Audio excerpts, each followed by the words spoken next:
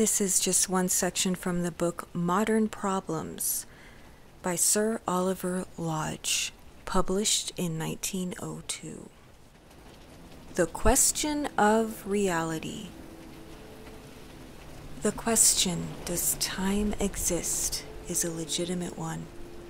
For time is an inference which may or may not correspond with reality. The question, does matter exist, is another legitimate question, and one that has often been asked. I should answer both questions in the affirmative, and should plead that these ancient and universal inferences should be trusted. They originate as abstract ideas, but they correspond to concrete reality. They are not directly apprehended, but they are apprehended and they are real. In the first place, any question as to the reality of motion is absurd. It is part of our own existence and cannot be questioned save by a comprehensive skepticism which overwhelms everything and nullifies itself. For in that case, there is no one to be skeptical and nothing to be skeptical about. Space is primarily an abstraction, dependent on our perception of continued motion. And that abstraction alone, geometry may be based. But if we conceive space to be a reality, as we do, we may proceed to investigate its other properties, beside extension, and may find it, by aid of physics, to be substantial, and may endow it with the properties of an ether, which, for all we know, is coextensive with it. Matter is primarily an abstraction or mental concept invented to account for or to summarize conveniently our consistent apprehension of localized resistance. But as soon as we conceive of matter as a reality, we proceed to investigate its other properties, and thus create the science of chemistry and a portion of the science of physics. The hypothesis that matter is real is pragmatically justified. So it is also with time. Time is primarily an abstraction devised so that, in combination with space, we may formulate our direct experience of varying degrees of rapidity of motion. Every kind of clock is a moving body, and every steadily moving body will serve as a clock. Our apprehension of time is derived from motion and space. Motion is not derived from space and time, though its artificial measurement may be expressed in their terms. The units of time are manifestly and obviously artificial. It is not given to us in seconds or in any other discontinuous and countable units. It is a continuum, like space and though we break up into thens and whens, the eternal now, we do it in the same way and for the same sort of reason as we subdivide a yard measure or place milestones on the Dover Road. We apprehend time instant by instant, but we conceive it as a uniformly flowing entity, as something which flows past us or at the moments of which we arrive, precisely as we might apprehend the divisions and interspaces on a yard measure drawn past us, if we could see them only one at a time, all the rest being hidden from us and being past only or future. A microscopist does in truth thus study the structure of a solid dividing it into an orderly succession of slices by his microtome, and studying them one after the other. Thus has originated the idea of a fourth dimension through which we are traveling and apprehending only in sections, each section as it arrives being called the present. In this analogy, change and sequence are modes of apprehension rather than ultimate realities. They are subjective aspects of a universe itself unchanging. But sooner or later, the analogy breaks down, like all other analogies. The microscopist knows that the sections he has not yet cut are already predetermined, that the structure he is studying is really there, and that he has only to ascertain it. We do not know that it is so with the process we call time, or with the thing we call the future. Here come in all the puzzles. To us, apparently real and legitimate puzzles about fixed fate, foreknowledge, and free will, and I am not going to tackle them too closely. There is no compulsion to press the dimensional analogy or any other analogy unduly. In slicing through a solid, we know that its anterior or perhaps we should say posterior, portion already exists. In slicing through our hypothetical fourth dimension, we do not know how far or in what sense the future already exists, or how far it is affected by what we are doing now. Perhaps we are introducing something into it at every slice. If evolution and progress are realities, and not dreams, it may be that the future is conditioned by the past. Even though the future may, in some sort, already exist, it may be waiting for the sap, the lifeblood, the vivifying pabulum, which will convert it into the present. Pabulum, which the past has prepared and which the present is conveying into its veins, so that its real and vital significance may be modified and readapted and controlled by the activities which are now going on.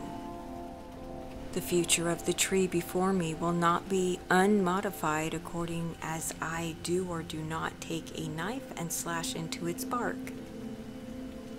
Self determining beings may exist, and as part of the controlling and determining agency of the universe, may create works that are new and may intrude into the future conditions which would otherwise not be there. So also the future may be full of self determination, actuated and influenced in part by what is occurring here and now. It is for us to ascertain and find out the truth, not to be satisfied with a priori assumptions of impossibility. Our conceptions of the possible need training and widening. Strange indeed if this should be contested. Another useful analogy can be drawn from the loom of a weaver. Each thread is laid down in the present. The woven pattern is the past. The determining cards are the future. It all represents a plan, but the plan is prehistoric is outside the scheme, is something inconceivable to the loom and to the flying shuttle, even to the working weaver, perhaps. This analog also depicts, it is true, a determined universe, the universe of Omar Khayyam. But no analogy coerces. A loom may be imagined or even constructed otherwise, it would be feasible to arrange so that each thread, as it arrived, either by its contact with the thread preceding, or by the way it enters, or by its tautness or slackness, or by its electric properties, that each thread should itself affect the pattern determining cards, should modify the arrangement, should introduce fresh conditions. After the haphazard manner of a kaleidoscope, this could be done if desired and should thus assist in determining the resulting, the future pattern. Even by machinery, this could be managed, And if the future, instead of being a mere mechanical entity arriving in due preordained sequence, is itself composed of or dominated by living intelligence, if the sections as they arrive are the result of what is even now being prepared in the future, which is beyond our ken, then there may be reason to suppose that that future may be modified by what is occurring here and now, and that active living and loving intelligences which dominate it may be influenced by our longing, by our exertion, by our prayers. There is no absurdity or contradiction in the idea. It is a question of fact. It is a legitimate subject for investigation. And the past also. It is not non existent. It does not succumb immediately to the devouring tooth of time. It is the region of achievement. In the loom analogy, the past is the pattern for which the machine exists for which the labor is undertaken. It is the finished work. Insofar as it is a work of art, the labor was worthwhile. And our works of art, which seem to be perishing, may have an immortality of their own, akin to the immortality of poetry. The characters of Shakespeare are not dead and cannot die. They have not lived a mortal life. They are essentially immortal. Nor is the Creator really likely to be more evanescent than his work. These things are in eternity. They are out of time. They subsist forever. All the greatest things are of this nature and are free from the limitations of time. For time is a limitation, an ordered and constraining sequence though nevertheless real. Perhaps absolutely real and essential, certainly subjectively real, and appertaining to the human aspect of the universe. So that time, originally arrived at by us as an abstraction like space and matter, may, like them also, put on the aspect of reality and may exhibit in itself properties properties far from simple or obvious, which we may rightly investigate and try to understand. The law of evolution is one of the formulated attempts to understand the nature of time, and if time is in truth a fundamental reality, as I conceive matter and space also to be, though they are none of them fundamental or primary modes of perception, then we may seek to apprehend and formulate the various bearings of the idea of evolution in ways clearer and more thorough than have yet been attempted. The hypothesis is worth making, just as the hypothesis of the real existence of matter has been worth making. It has been justified by its fruits.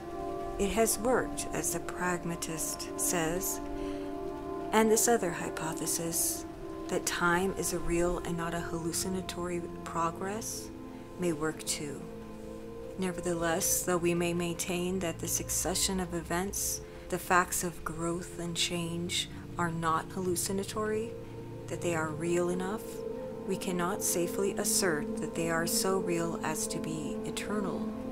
There are facts which suggest that there is a higher kind of existence, an existence already attained by our loftiest work, an existence appropriate to creations of genius, a kind of existence, or subsistence, or super subsistence, which transcends present limitations, which has been raised or put ashore out of the current of the time stream into a freer and diviner air where the past, the present, and the future are united in the transcendental coexistence of a more copious reality.